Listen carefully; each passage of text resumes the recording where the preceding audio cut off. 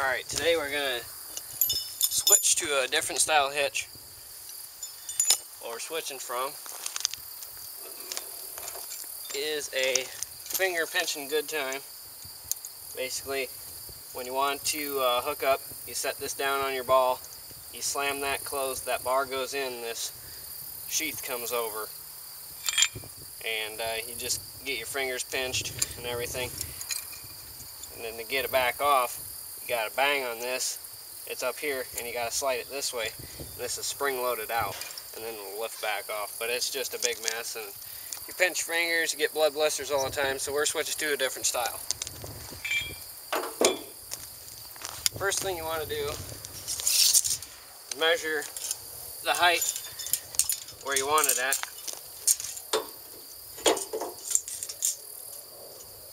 Okay, so we'll go over to our truck and we want this this trailer level. So what we'll do is we'll uh, find a point on the frame and we'll level the trailer.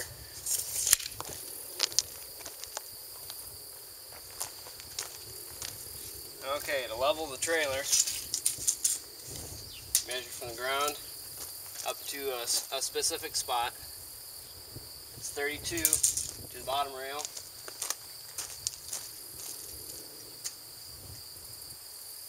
And it's 27 and a half back here.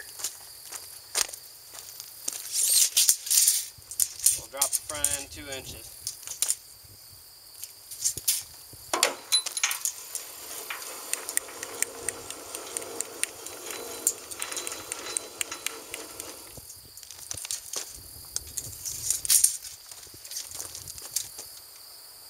Twenty-nine and a half. Twenty-nine.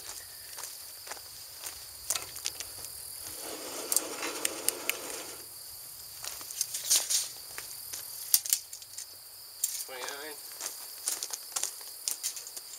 And twenty-nine. Now the trailer's level. Now you want to check how high this is.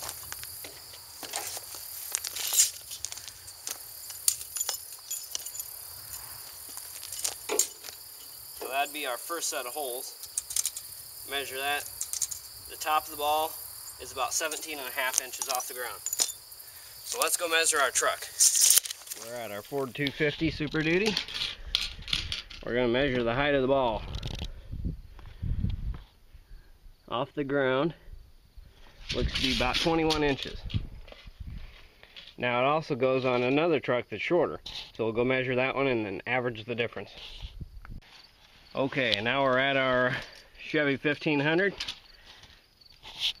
And as you can see, this ball height is about 16 and 3 quarters. Four inches difference, so we'll go halfway between the two.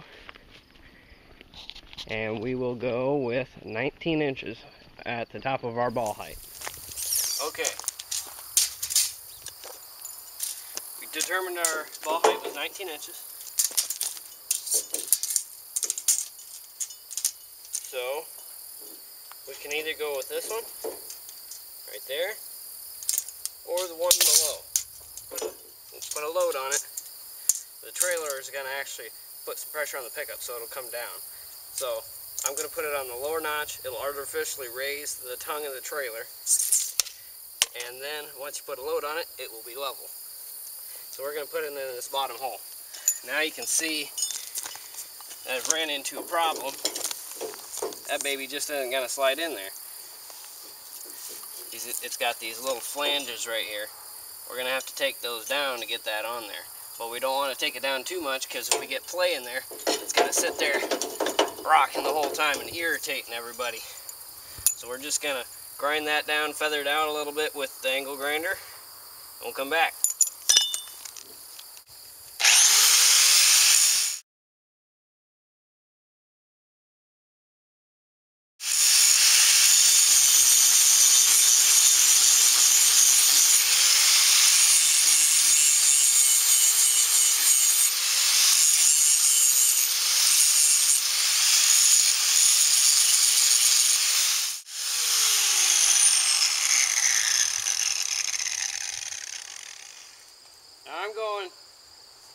Crosswise. I'm going left, right, and then forward, back. That way I don't create a big wallow in there.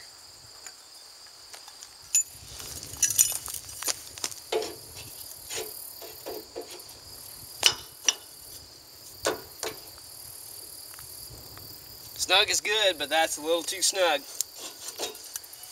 Back to the grinder.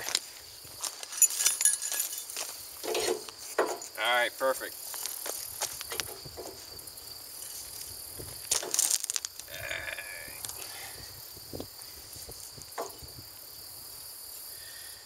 Well, oh, now I've ran into another problem. Okay, here's the problem now. I got it to fit. But now, that's bottomed out, going all the way back. Oops. Hold on.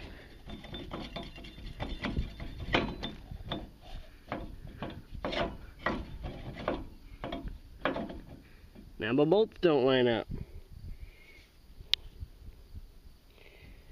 So now, what I'm gonna have to do, oh, let's see. Might have to grind a little bit off the back side there just to get her to fit down in there. Alright. Back to the drawing board. So what I did was I ground back. It's a good hefty piece right here. So I, I don't think I took away any of the structural integrity of it. It's really thick. It's probably 5 eighths right here and then it's got a stiffener back in here. So what I did is just willed it off probably 16th of an inch on either side. Just giving it a nice bevel. And there comes the moment of truth. See if we can't pop a bolt in. That's good.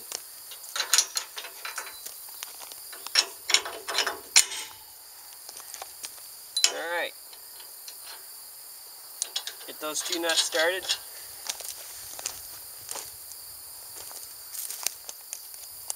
get a little blue creeper. B-L-U-E and then creeper.com.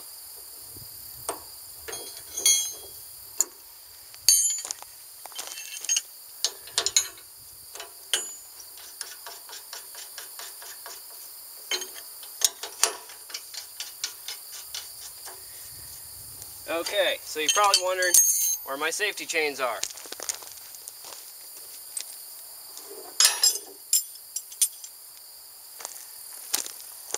All my safety chains are laying on the ground. Right here. Now, it might be logical to some people bolt these chains right in with the hitch. That's not a good idea. If this hitch, these safety chains are to save you if the hitch fails. So that that means if uh, if this fails, if these bolts fail, if the part where the receiver hitch fails, or if the receiver hitch fails, or if the truck receiver hitch fails. These are supposed to keep your trailer connected so you can get it stopped. So, you bolt these in one of these up uh, extra holes up here.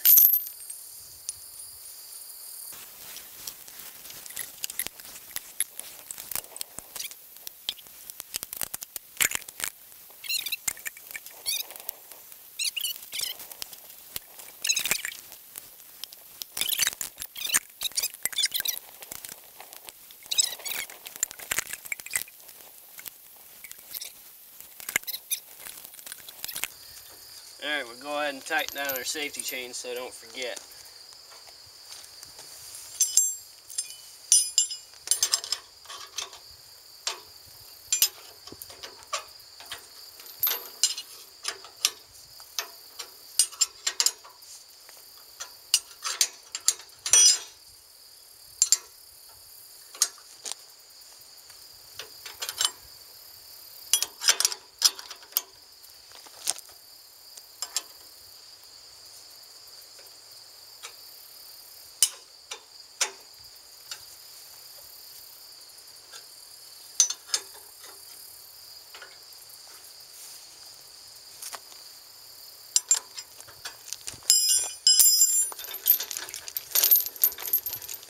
There's your safety chains.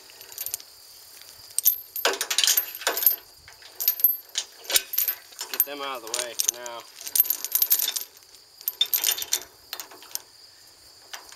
Okay. We want to tighten up our uh, hitch bolts.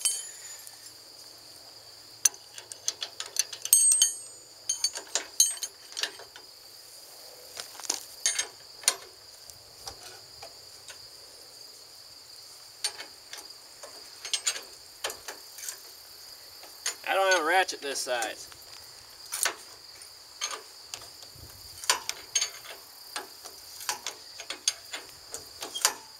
Oops.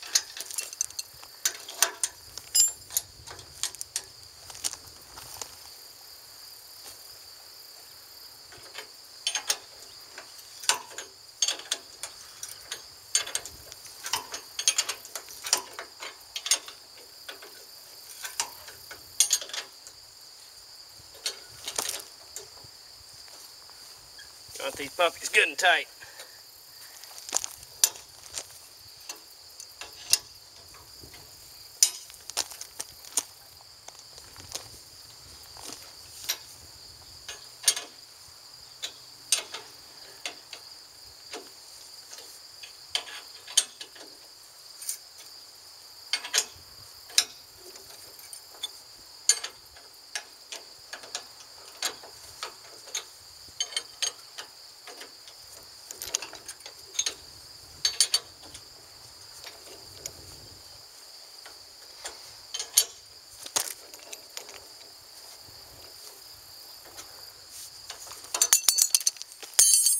All right. Let's check our height.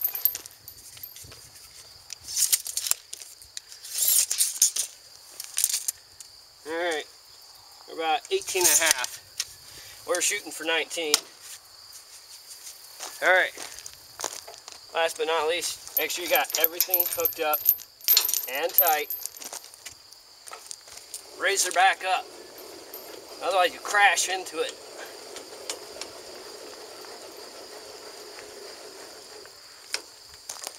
Don't want to crash into it with the truck.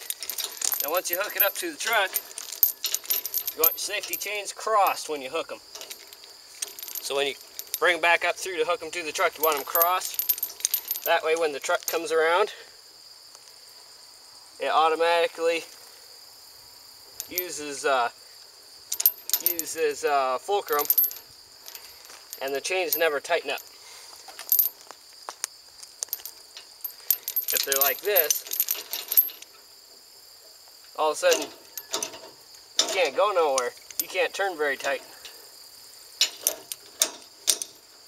But if they're crossed, you can turn infinite.